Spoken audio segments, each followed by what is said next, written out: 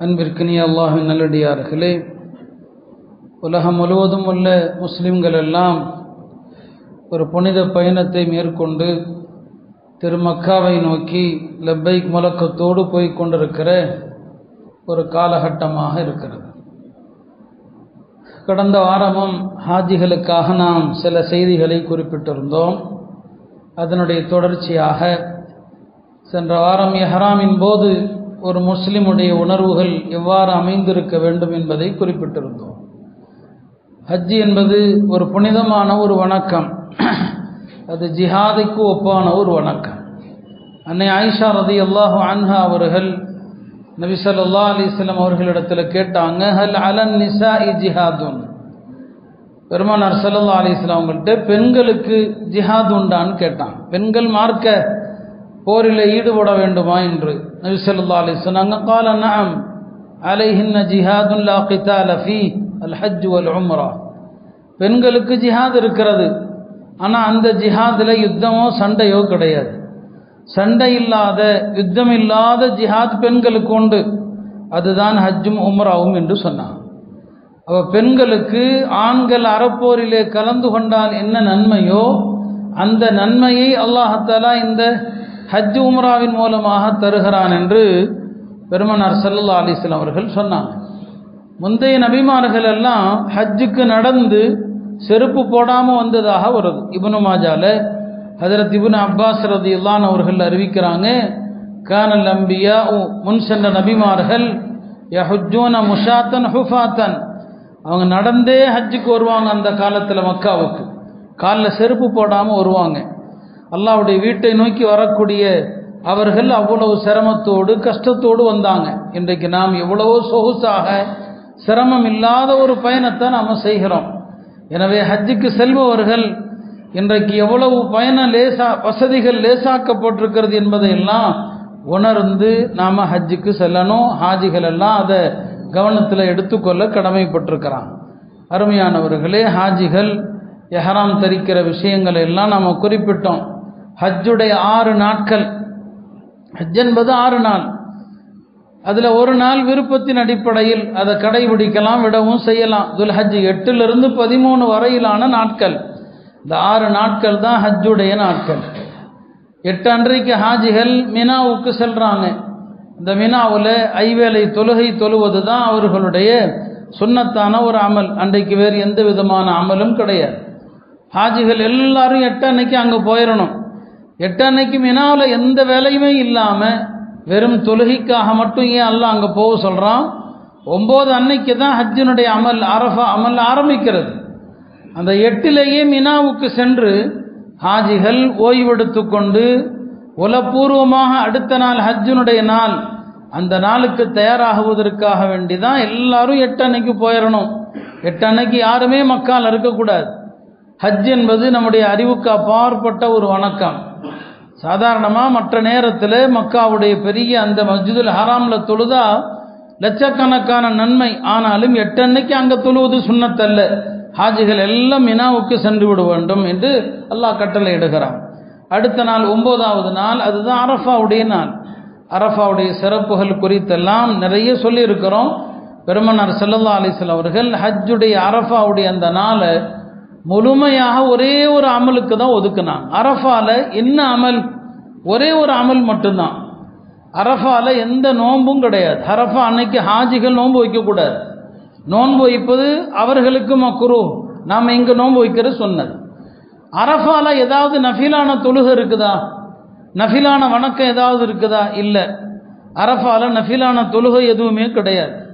இப்போ அரஃபால நபிசல்லா அலிஸ்லாமங்களோ த சஹாபாக்களோ நிறைய திலாவத்து ஏதாவது செஞ்சாங்களா? இல்லை. இது எதுவுமே இல்லை. ஆனால் அல் ஹஜ்ஜு அரஃபா. ஹஜ்ஜுனா அரஃபா தான். ஹஜ்ஜுனா அரஃபான்னு சொன்னாங்க. ஆனால் அரஃபால நோன்பு வைக்கக்கூடாது. அரஃபால நஃபில் தொழுகைகள் எதுவுமே கிடையாது. அரஃபால பெரிய அளவில் குரான் திலாவத்து எதுவும் இல்லை. இப்போ என்னதான் அரஃபால செய்யப்பட்டது? அரஃபால ரெண்டே அமல் தான். இந்த ரெண்டு அமல் செய்வதற்காக நபி சொல்லா அலிஸ்லாம் அவர்கள் லொஹரையும் அசரையும் மஸ்ஜித நமிரா நமிராங்கிற இடத்துல பெருமானார் தொழுதாங்க இங்கே அங்கே பள்ளி இருக்கிறதுனால அதுக்கு மஸ்ஜித நமிராங்கிறோம். அது அரஃபா இல்லையில வராது. அந்த நமீராங்கிறது அரஃபாவுடைய பார்டரில் இருக்குது. பெருமனார் செல்லல்லா அலிஸ்லாம் அவர்கள் அங்கு வந்தாங்க. லொஹரையும் அசரையும் முற்படுத்தி தொழுதாங்க. அசரையும் லொஹர்லேயே தொழுதுட்டாங்க. அதை ஜம தக்தீம் முற்படுத்தி சேர்த்து தொழுதல் என்று சொல்லுவாங்க. அப்படி தொழுதுட்டு மகரீப் வரைக்கும் ஒரு அமல்ல இருக்கணும். துவா திக்ருங்கிற ஒரு அமல். இந்த ரெண்டு அமலை தவிர அரஃபால வேற எந்த அமலுமே கிடையாது. அரஃபால வந்து ஒரு நூறு ரக்காத்து நஃபில் தொழுகிறது சுண்ணத்தா இல்லை. கிடையாது. பெருமானாருடைய வழிமுறை இல்லை. அரஃபால ஒரே அமல் என்ன? துவாவும் திக்கிறது தான் இந்த ரெண்டு அமல் செய்வதற்கு அசருடைய நேரத்தில் அசரு தொழுகை கூட குறுக்க வரக்கூடாது. அந்த தொழுகை கூட இடையூறா வந்துடக்கூடாதுங்கிறதுக்காக அசர தோருடைய நேரத்தில் முற்படுத்தி தொழுது அதிலிருந்து ஆரம்பித்து பெருமானார் செல்லல்லா அலிசல் அவர்கள் மகரிப் வரைக்கும் துஆ திக்ரு தான். இந்த ரெண்டே அமல் தான். சொல்லுவாங்க நபிமார்கள் அரஃபாவுடைய நாளிலே அவர்கள் செய்த உயர்ந்த திக்ர் லா இலாஹ இல்லல்லா வஹ்தஹு லா ஷரீக லா லஹுல் முல்கு வ லஹுல் ஹம் வ ஹுவ அலா குல்லி ஷைஇன் கதீர் அந்த துவாவும் எல்லா முஸ்லிம்களுக்கும் தெரிந்த துவா தான். எல்லாரும் சொல்லக்கூடிய திக்கரை தான் சொல்லி கொடுத்தாங்களே தவிர எந்த விதமான கஷ்டத்தையும் கொடுக்கல நபி ஸல்லல்லாஹு அலைஹி அவர்கள். அந்த மஸ்ஜிதில் ரெண்டு ரக்கா தொழுதுட்டு மக்களுக்கு ஹொத்பா செய்வாங்க. ஹஜ்ஜினுடைய வழிபாடுகளை சொன்னாங்க. வரலாற்று சிறப்பு மிக்க உரையை நிகழ்த்தி விட்டு அவர்கள் ஒரு குறிப்பிட்ட இடம் ஜபலுர் ரஹ்மா என்கிற அந்த மலை அடிவாரத்தில் பெருமானார் செல்லல்லா அலிஸ்லாம் அவங்க தங்கினாங்க. எல்லா மக்களும் எங்கெங்க இருக்கிறீங்களோ அங்கே இருங்க. நான் இருக்கிற இடத்துக்கு எல்லாரும் வந்துடக்கூடாது. எல்லாம் உங்கவுங்க இடத்துல இருங்க. எல்லாமே அரஃபா தான். மகரிப் வரைக்கும் ஆழ்ந்த துவா தான். துவால ஈடுபட்டாங்க. பெருமானார் செல்லல்லா அலிஸ்லாம் அவர்கள் அரஃபா மைதானத்தில் துவா செஞ்சுக்கிட்டே இருக்கிறாங்க இந்த உம்மத்துடைய நலவுக்காக கேட்குறாங்க கேட்குற துவாக்களுக்கெல்லாம் அல்லாவுடைய புறத்திலிருந்து அங்கீகாரம் வருது.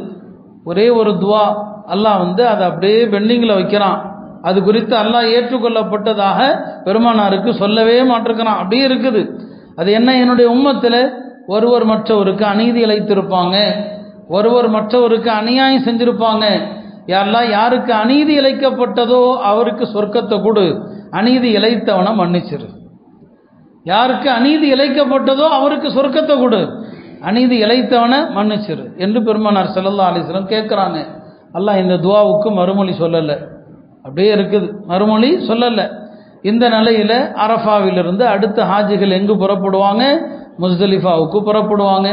முஸ்தலிஃபாவில் போய் இரவில் தங்கி காலையில் ஃபஜ்ருடைய வக்து வந்ததும் உடனே அவ்வல் வக்தில் ஃபஜ்ரு தொழுவுறது அங்கே தான் சுண்ணத்து வக்து வந்ததும் தொழணும். அப்போ வக்து வந்ததும் அதான் சொன்னாங்க எக்காம சொல்லப்பட்டது.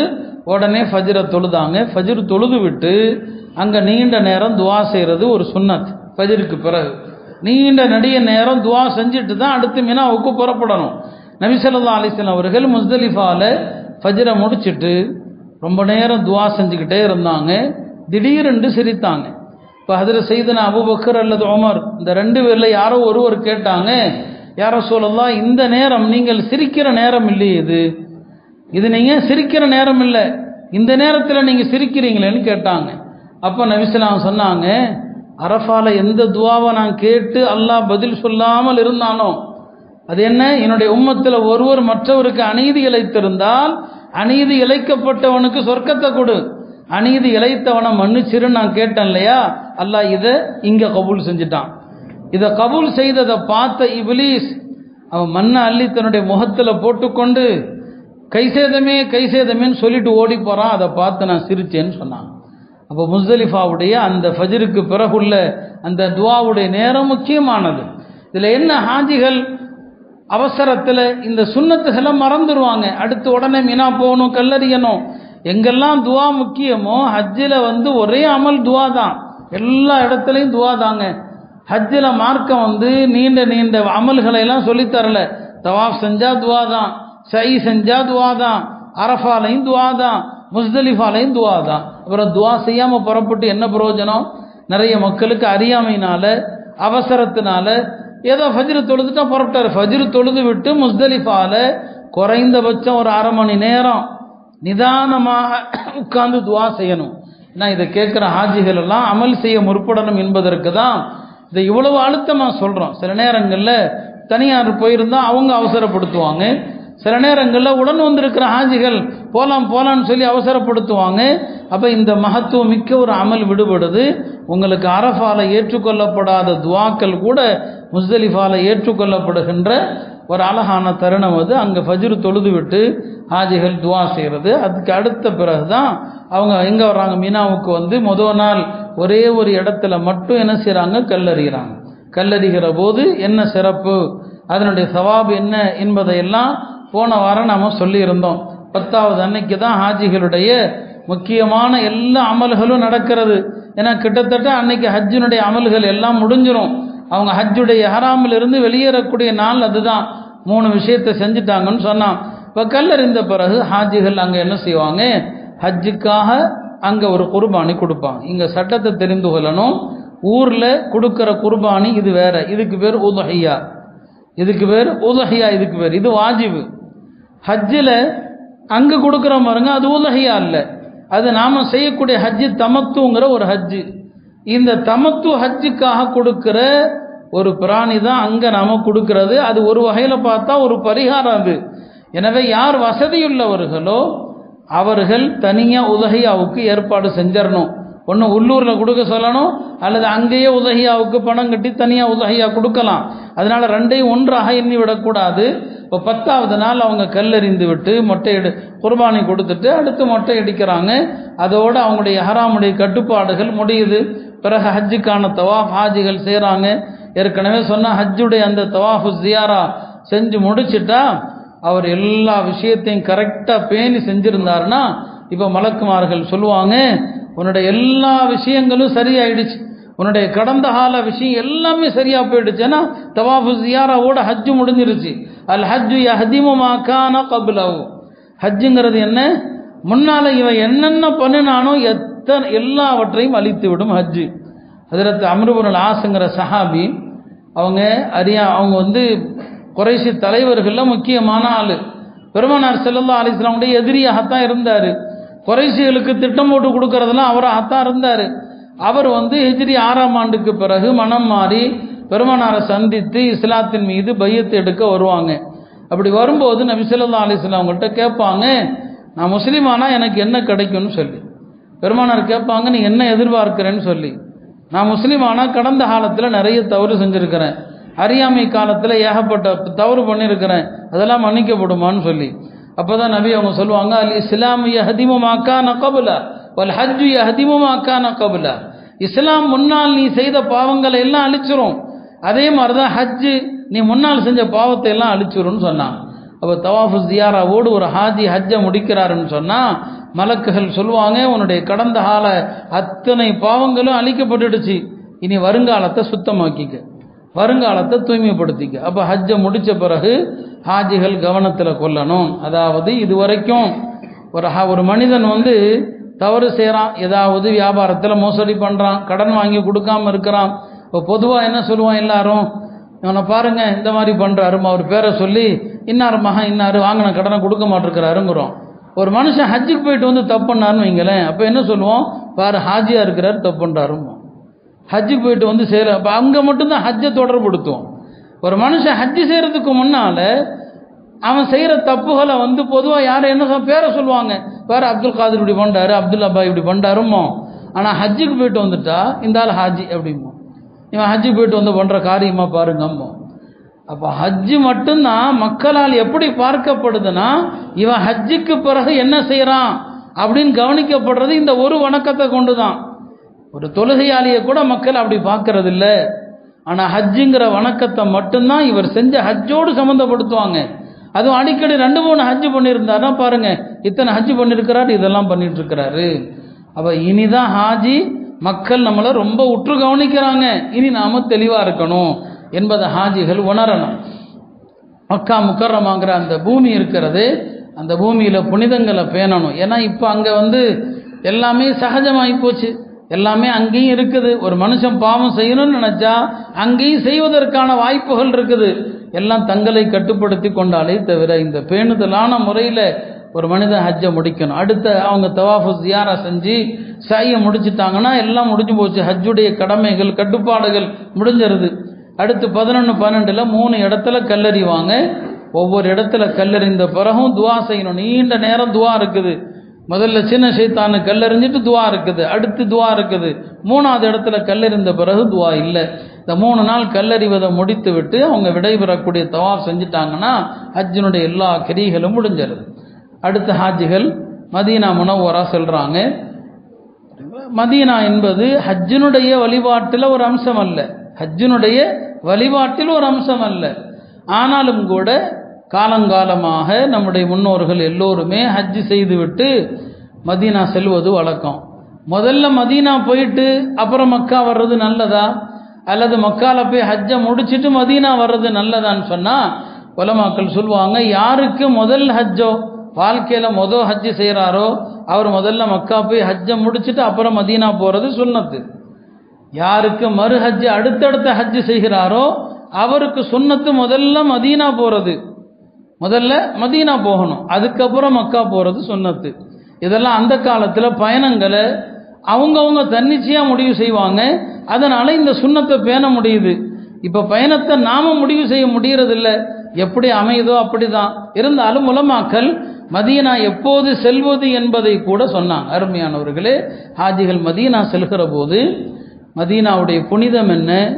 பெருமானார் சல்லல்லா அலிஸ்லம் அவர்களையும் அவர்கள் வாழ்ந்த அந்த மதீனமா நகரத்தையும் சஹாபாக்கள் எப்படி நேசிச்சாங்க அப்படிங்கிறத கொஞ்சம் அந்த வரலாறை தெரிந்து கொள்ளணும். நாம் பலதும் சொல்லியிருக்கிறோன்னு சொன்னாலும் ஒரு சில விஷயங்களை நினைவூட்ட விரும்புகிறேன்.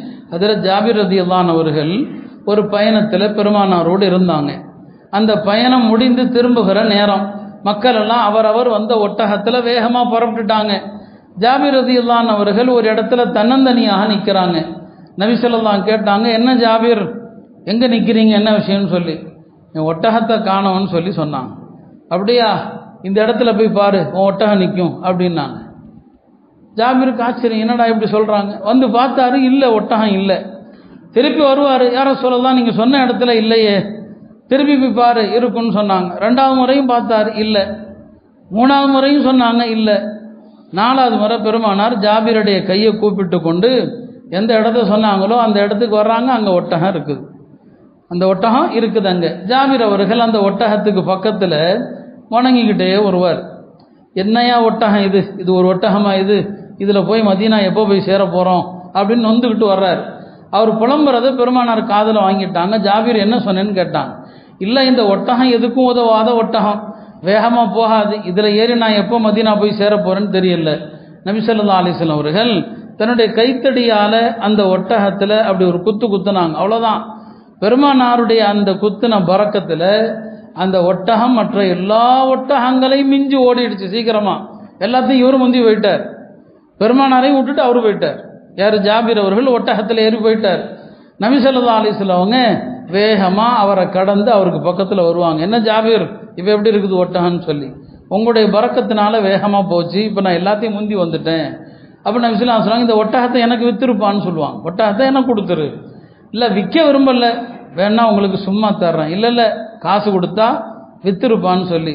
ரெண்டு பேருக்கும் மத்தியில் பேச்சுவார்த்தை நடக்குது. காசு பேசுகிறாங்க எவ்வளோ தீனார் எவ்வளோ திரகம் ரெண்டு பேருக்கு மத்தியில் கடைசியில் ஒரு விலையை முடிவு பண்ணி இந்த விலைக்கு வாங்குறேன்னு முடிவு பண்ணியாச்சு. ஜாபீர் சொன்னார் உங்களுக்கு இந்த ஒட்டகத்தை விற்றுட்டேன் ஆனால் மதீனா வரைக்கும் இதன் மீது நான் சவாரி செஞ்சு தான் வருவேன். மதீனாவில் வந்து தான் ஒட்டகத்தை உங்கள்கிட்ட கொடுப்பேன். அது வரைக்கும் இதன் மீது நான் தான் வருவேன். சரி நீயே வந்துக்க அங்கே வந்து கொடுத்துருன்னு சொல்லிட்டாங்க. இடையில அவருடைய திருமண விஷயங்கள்லாம் வரும். அவர்கிட்ட நிக்காவுடைய விஷயங்கள் வரும். மதீனா வந்ததும் அவர் நபிசல்லா அலிஸ்லாம் உங்களிடத்துல தன்னுடைய அந்த ஒட்டகத்தை தான் பெருமானாருக்கு வித்துட்டாரு. அப்போ வித்த ஒட்டகத்தை பெருமானாரிடமே கொடுக்கணும் இல்லையா? அதை கொடுக்கறதுக்காக வருவார். வரும்போது நபி சொல்லா அலிஸ்லாம் பிலால் இடத்துல சொல்லுவாங்க ஜாபிர் இடத்துல இந்த ஒட்டகத்தை வாங்கியிருக்கிறோம் அதற்கு இவ்வளவு தங்கம் பேசியிருக்கிறோம் அந்த தங்கத்தை நிறுத்து கொடு நிறைய கொடுன்னு சொல்லுவாங்க. அவர் பிலால் நிறுப்பார் அந்த காலத்தில் தங்கம் வந்து நாணயமாக காசாகவும் இருக்கும் கட்டியாகவும் இருக்கும். பேசின தங்கத்தை கொடுக்கணும் இல்லையா? நிறுப்பாங்க பிலால். இப்போ பெருமானார் சொல்லுவாங்க இன்னும் கொஞ்சம் அளந்து போடு. இன்னும் கொஞ்சம் போடு. இன்னும் கொஞ்சம் அளப்பார். அதை ஜாபீர் ஒரு பை கொண்டு வந்திருப்பார் பணப்பை. அந்த பையில் போட்டுட்டு பெருமானார் அதில் இன்னொரு கீராத்து தங்கத்தை போடு. கீராத்துங்கிறது தங்கத்தினுடைய ஒரு அளவு. இன்னொரு கீராத்தை போடுன்னு சொல்லுவாங்க. பேசப்பட்ட அளவை விட அதிகம் அளந்து அதுக்கப்புறம் பையில் போடும்போது இன்னொரு கீராத்து கூட போடுவாங்க. அந்த பையில் என்னங்க போட்டுட்டு ஜாபீர் காசை வாங்கிட்டு புறப்பட்டு போகும்போது பெருமானார் கூப்பிடுவாங்க. இந்தா இந்த ஒட்டகத்தையும் கொண்டுட்டே போன்னு சொல்லி. ஒட்டகத்தையும் தூக்கிட்டே போன்னு சொல்லி. அப்போது ஒட்டகத்தை வாங்குற மாதிரி வாங்கினாங்க. காசையும் பேசினாங்க. மதீனா வந்ததும் காசை கொடுத்துட்டு ஒட்டகத்தையும் அவர்கிட்டே கொடுத்தாங்க நீயே வச்சுக்க. அவருக்கு உபகாரம் செய்ய நினச்சாங்க. ஜாவிர் சொல்லுவாங்க பெருமானார் கொடுத்த அந்த பணப்பை அதில் பெருமானார் எக்ஸ்ட்ரா காசு போட்டாங்க இல்லையா? அதனுடைய பறக்கத்து அந்த பையில் எப்பயும் காசு வந்துக்கிட்டே தான் இருக்கும். எப்பவுமே அப்படி நமக்கு கிடைச்சா ரொம்ப நல்லா இருக்கும். உழைக்க வேண்டாம் காசு வேணும். எங்கேயும் போக தேவையில்லை. வந்துக்கிட்டே இருக்கும். ஆனால் கை சேதம் மதீனாவில் நடந்த ஹர்ராங்கிற ஒரு பெரிய கலவரம் பனு உமையாக்கள் காலத்தில் அந்த கலவரத்தில் அந்த பணப்பை தொலைந்து போனது. எல்லாருக்கும் ஒரு கவலைன்னு சொன்னால் அந்த பணப்பை தொலைந்தது எனக்கு பெரிய கவலை. ஏன்னா பெருமானாருடைய பறக்கத்து போயிடுச்சு என்ன விட்டோம். அடுத்து அந்த ஒட்டகம் பெருமானார் வாங்குற மாதிரி வாங்கி அதையும் அவருக்கே கொடுத்தாங்க இல்லையா? அந்த ஒட்டகம் வந்து ஹதரத் உமருடைய காலம் வரைக்கும் இருந்துச்சு. உமருல்லாவுடைய காலத்தில் அது வயசான ஒட்டகம் ஆயிடுச்சு. சொல்ல வந்து சஹாபா பெருமக்கள் பெருமானாரோடு சம்பந்தப்பட்ட ஒவ்வொரு விஷயத்தையும் எப்படி நேசித்தாங்க ஜாபிர் ரதியுல்லான் அவர்கள் ஹதரத் உமர் இடத்துல வருவாங்க. வந்து சொல்லுவாங்க யார சொல்லலாம் இந்த ஒட்டக உமர் அவர்களே இந்த ஒட்டகத்தினுடைய கதை உங்களுக்கு தெரியும் தானே? ஒரு பயணத்திலிருந்து வரும்போது நான் காணா போச்சுன்னு தேட பெருமானார் இந்த இடத்துல இருக்குதுன்னு சொல்ல. அதுக்கப்புறம் அதை பெருமானார் தட்டி கொடுக்க பெருமானாரே வாங்குற மாதிரி வாங்கினாங்க எனக்கே கொடுத்தாங்க எல்லாம் உங்களுக்கு தெரியும் தானே? ஆமாம் சொல்லுங்கள் ஜாபீர் என்ன விஷயம்? வயதாகி போய்விட்டது. இப்போ இது எதுக்கும் உதவாமல் இருக்குது. இதை பைத்துல் மாலில் சேர்த்துருங்க அப்படின்னா சரி பைத்துல் மாலுடைய ஒட்டகத்தோடு சேர்த்து விட்டு உமர் ரதி அவர்கள் ஒட்டக மெய்ப்பாளரை கூப்பிட்டு சொன்னாங்க. அந்த ஒட்டக மெய்ப்பாளருக்கு உத்தரவிடுறாங்க இர் அஹூஃபி அத்தியபில் மராயி இது சாதாரண ஒட்டகம் இல்லை. நல்ல அழகான தூய்மையான மேய்ச்சல் இடத்துல இந்த ஒட்டகத்தை மேய்க்க கொண்டு போகணும். பெருமானாருடைய ஒட்டகம் இது. இந்த ஒட்டகத்தை ஃபி மராயி சுத்தமான இடத்துல கொண்டு போய் மேய்க்கணும். வஸ்திஹி மின் அதபில் மாயி இந்த ஒட்டகத்துக்கு நல்ல மதுரமான தண்ணியை கொடுக்கணும். அந்த கால்நடை அந்த மேய்ப்பாளருக்கு சொல்கிறார் மூணாவதாக சொன்னார் இந்த ஒட்டகம் இறந்து விட்டால் அதை அழகிய முறையிலே தோண்டி கண்ணியமான இடத்திலே அடக்கம் செய். இதெல்லாம் ரசூல் சல்லா அலி செல்லம் அவர்கள் மீது கொண்ட அன்புனால உமர் ரதியல்லான் அவர்கள் அந்த ஒட்டகத்தை இப்படி மதிக்குமாறு சொல்கிறாங்க அப்படியானா அவங்க பெருமானார் மீது எவ்வளவு அன்பு வச்சிருப்பாங்க. அப்போ சஹாபாக்கள் பெருமானாரின் மீதும் மதீனமா நகரத்தின் மீதும் அவ்வளவு அன்பு வச்சிருந்தாங்க. மதீனாவுக்கு ஹிஜரத் செஞ்சு வந்த நேரத்தில் மதீனா வந்து அப்போ ரொம்ப கடுமையான அது காய்ச்சல் கொண்ட பூமி. அங்கே வர்ற எல்லாருக்குமே காய்ச்சல் வரும். மதீனா வந்த புதுதில் ஹதரத் அபுபக்கர் காய்ச்சலில் கஷ்டப்பட்டாங்க பிலால் கஷ்டப்பட்டாங்க ஆயிஷா ரதியதானஹா கஷ்டப்பட்டாங்க. எல்லாருக்குமே கஷ்டம். சஹாபாக்களுக்கெல்லாம் ஒரு வகையில் கஷ்டமாக இருந்துச்சு. என்னடா இந்த பூமிக்கு வந்துட்டவன் எவ்வளோ காலம் இங்கே சமாளிக்க போகிறோன்னு சொல்லி.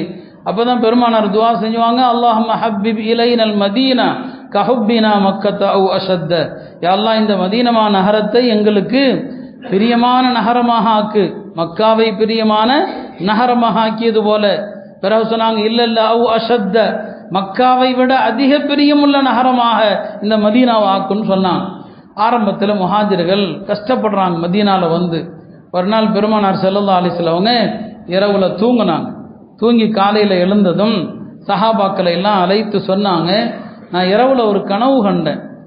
தலைவிரி கோலமாக ஒரு பெண்மணி மதீனாவை விட்டு வெளியே போகிற மாதிரி கனவு கண்டேன்னு சொன்னாங்க. தலைவிரி கோலமாக ஒரு பொம்பளை மதீனா விட்டு வெளியே போகிற மாதிரி கண்டேன். இப்போ சஹாபாக்கள் கேட்டாங்க யார சொல்லலாம் இந்த கனவுக்கு என்ன விளக்கம்? என்று பெருமானார் சொன்னாங்க மதீனாவில் இதுவரைக்கும் நீங்கள் அனுபவித்து வந்த காய்ச்சல் இருக்கு இல்லையா? அது மதீனாவிலிருந்து மஹியா ஜொஃபாங்கிற இடத்துக்கு போயிடுச்சு. இனி மதீனாவில் யாருக்கும் காய்ச்சல் வராது கவலைப்படாதீங்கன்னு சொன்னாங்க. அதுக்கப்புறம் தான் சொன்னாங்க இந்த மதீனாவில் யாருக்கும் எதுவும் வராது. இது தாபத்துன் தைபத்துன். மதீனாவுடைய காற்று மனமானது. மதீனாவுடைய பறக்கத்து இருக்கிறதே மக்காவுடைய பறக்கத்தை விட இரண்டு மடங்கு பறக்கத். மதீனாவுடைய பழங்களில் பறக்கத்.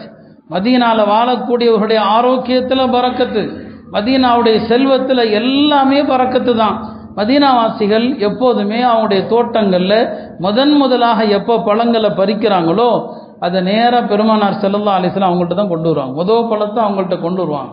நபி செல்லல்லா அலிஸ்லவங்க அந்த பழங்களை பார்த்ததும் துவா செய்வாங்க. அல்லாஹும பாரிக்லனா ஃபி மதீனத்தினா. எல்லாம் இந்த மதீனாவில் பறக்க செய். ஒபாரிக்லனா ஃபி முத்தீனா ஒ சாயினா இந்த மதீனாவுடைய அளவுகளாக இருக்கிற முத்துல சால பறக்கசை மேலும் சொன்னாங்க இப்ராஹிம் அலைசலாம் மக்காவுடைய பறக்கத்துக்கு துவா செஞ்சாங்க. மதீனாவில் மக்காவை விட இருமடங்கு பறக்கத்துக்காக நான் துவா செய்கிறேன்னு சொல்லிவிட்டு அந்த பழங்களை முன்னால் சின்ன பையன் யார் இருக்கிறாரோ அவரை கூப்பிட்டு பெருமானார் செலவாகும் கொடுப்பாங்க. அதனால தான் மதீனாவுடைய பேரிச்சம்பழங்களை தொடர்ந்து சாப்பிட்டா விஷமுறிவும் ஏற்படாது சூனிய தாக்கமும் ஏற்படாது. ரெண்டு வகையான ஹதீஸ் இருக்குது. அஜ்வாங்கிற பேரிச்சம்பழம் அதை தொடர்ந்து சாப்பிட்டு வந்தால் ஏழு பேரிச்சம்பழம் தொடர்ந்து சாப்பிட்டா விஷமுறிவு. விஷமும் பாதிக்காது சூனியமும் பாதிக்காது. சில ஹதீஸுகளில் பொதுவாக எல்லா பேரிச்சம்பழம் மதீனாவுடைய எல்லா பேரிச்சம்பழமுமே ஷிஃபாவுக்குரியது. அதை தொடர்ந்து சாப்பிட்டா சூனியமோ அல்லது விஷமோ எதுவும் பாதிக்காதுன்னாங்க. மதீனாவுடைய மண் இருக்கிறது ஷிஃபாவுடைய மண். யாருக்காவது இப்போ காய்ச்சல் கண்டாலோ உடம்புல வலி ஏற்பட்டாலோ பெருமானார் செல்லல்லா அலிசலவங்க ஒரு விரல்ல தன்னுடைய உமிழ் நீரை எடுப்பாங்க. அந்த உமிழ் நீரை மதீனாவுடைய மண்ணில் கை வைத்து அந்த உடம்புல வலி உள்ள இடத்துல வச்சு ஓதி பார்ப்பாங்க. துருபத்து அர்தீனா பிரீகத்தி அதீனா பிஇதின் ரப்பினா யுஷ்பா சகீமுனா. இந்த மதீனாவுடைய மண்ணின் பறக்கத்தில் நம்மில் சிலருடைய எச்சியை கொண்டு அல்லாவுடைய நாட்டத்தை கொண்டு இந்த நோயாளிக்கு குணம் கிடைத்து விடும் சொல்லுவாங்க. மதீனாவுடைய மண் இருக்கிறதே அது பறக்கத்து.